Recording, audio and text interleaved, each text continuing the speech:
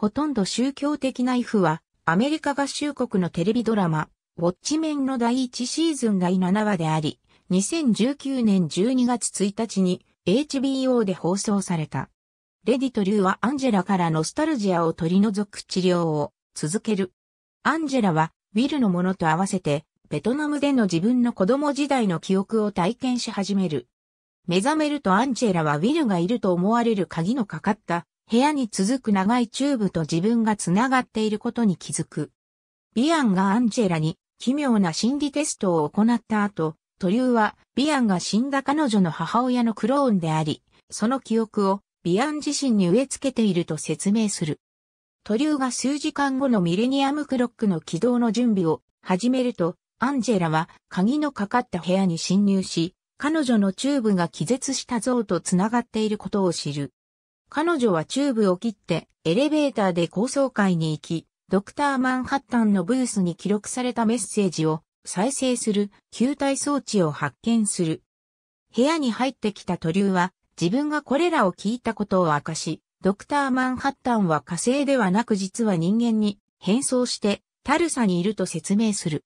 トリューはマンハッタンを捕獲して破壊して彼のような存在になるという騎兵隊の計画を知っており、彼女がクロックを作動させることで人類が救われると主張する。慌てたアンジェラは見張りを破って施設から抜け出す。自宅でカルはハンマーを探すアンジェラを目にする。アンジェラはカルを常に夫として愛していたが、今は彼をジョンと呼び、問題を抱えていることを告げ、彼の頭部をハンマーで殴る。アンジェラはカルの頭部から小さなディスクを取り出し、彼の体が青く輝くのを目にする。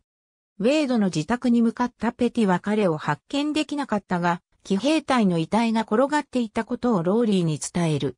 ローリーは、ノスタルジア中毒化の上ごとからジャッドと騎兵隊のつながりを知り、その妻のジェーンのもとを訪ねる。ローリーはジェーンが騎兵隊の協力者であることを知り、直後に監禁される。騎兵隊の本拠地に連れて行かれたローリーはジョーから自分たちが神のようになるためにマンハッタンを連れてくる計画のための檻のような装置を見せられる。屋敷でベイトはイカによる攻撃と多数のフィリップスとクルックシャンクスを虐殺した罪のために狩猟監督官によって365日の審理にかけられる。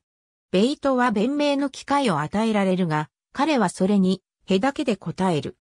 狩猟監督官は、ベイトと対等な存在である豚の群れを陪審員として部屋に入れ、彼の有罪を宣告する。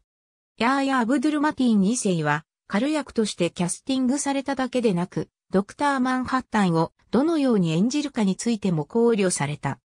ほとんど宗教的なイーフでは、アンジェラの夫のカルが、ドクター・マンハッタンの人間の姿であり、アンジェラはそれをすでに知っていたことが明かされる。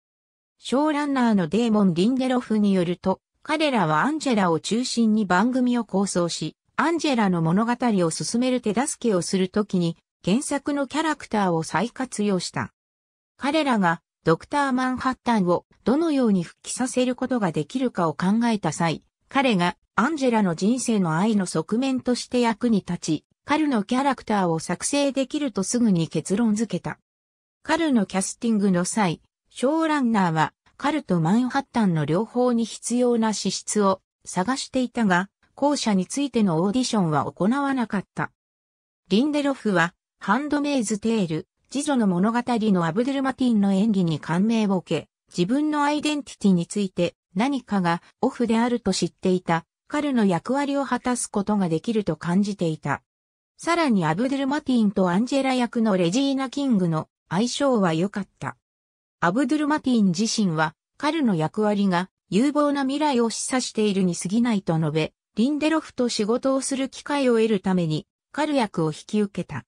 リンデロフは、第2話と第3話の撮影の間に、その二重の役割をアブドゥルマティンに説明した。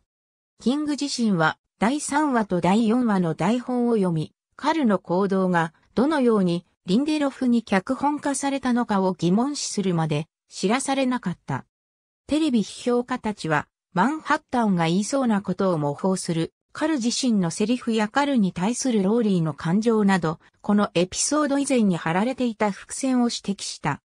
リンデロフは、彼女は宇宙ゴミに殺されたに登場したローリーのバイブレーターが補足資料のウェブサイト Peteypedia で明かされたように、その作成者のダニエル・ドレーバーグによってエクスカリバーと名付けられたイースターエッグであると指し示した。この名称は X、キャルアバーというフレーズのもじりであり、この時点でのローリーとマンハッタンの関係が説明された。このエピソードのタイトルは原作コミックにおけるマンハッタンの回想でアメリカがベトナム戦争に勝利した際に降伏したベトナム兵の反応の説明から引用されている。ロッテントマトズでは26件のレビューで支持率は92%、平均点は8.05、10となり、前回ほど強力ではないかもしれないが、ほとんど宗教的なイフは、ウォッチメンがひねりを加えて最終回に向かっている間、デーモン・リンデロフが視聴者の期待に挑戦することを恐れていないことを証明しているとまとめられた。初放送時の視聴者数は推定77万9000人である。ありがとうございます。